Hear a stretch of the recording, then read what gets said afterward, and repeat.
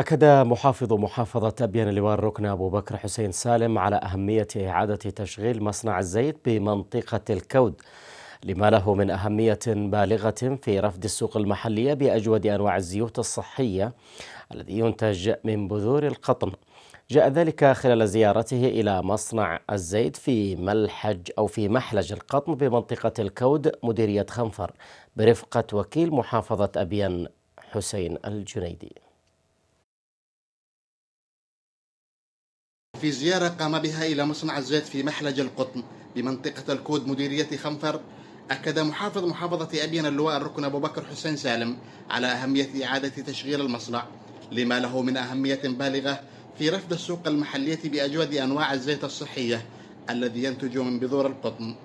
خلال الزيارة التي رافقه فيها وكيل المحافظة حسين الجنيدي اطلع المحافظ على سير العمل في المصنع مستمعا من مدير المصنع فتحي حيدر حمود على أهمية الخطوات والمراحل التي تمر بها بذور القطن والتي تعتبر من أجود أنواع الزيوت في بلادنا.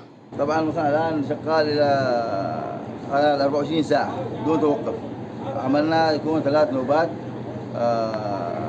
تشغيلية.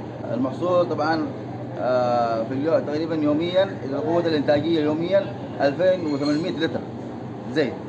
و 21000 كيلو علف حيواني محافظ محافظة أبين اللواء الركن أبو بكر حسين سالم أشاد بجهود قيادة المصنع مؤكدا استمرار دعم المصنع وإعادة تشغيله بتمويل من السلطة المحلية باعتباره ثروة قومية داعيا رجال المال والأعمال إلى الاستثمار في محافظة أبين التي تتمتع بثروة وطنية منها القطاع الزراعي والسمكي والسياحي والقطاع الصناعي لافتا استعداد المحافظة إلى توفير الأجواء المناسبة لضمان نجاح الاستثمار. رافقه في زيارة مدير عام الصناعة والتجارة سالم المعلم ومدير عام الاستثمار عبد المجيد الصلاحي وعدد من مدراء عموم المكاتب التنفيذية في محافظة أبين. لقناة عدن الفضائية وضح الشليلي أبين.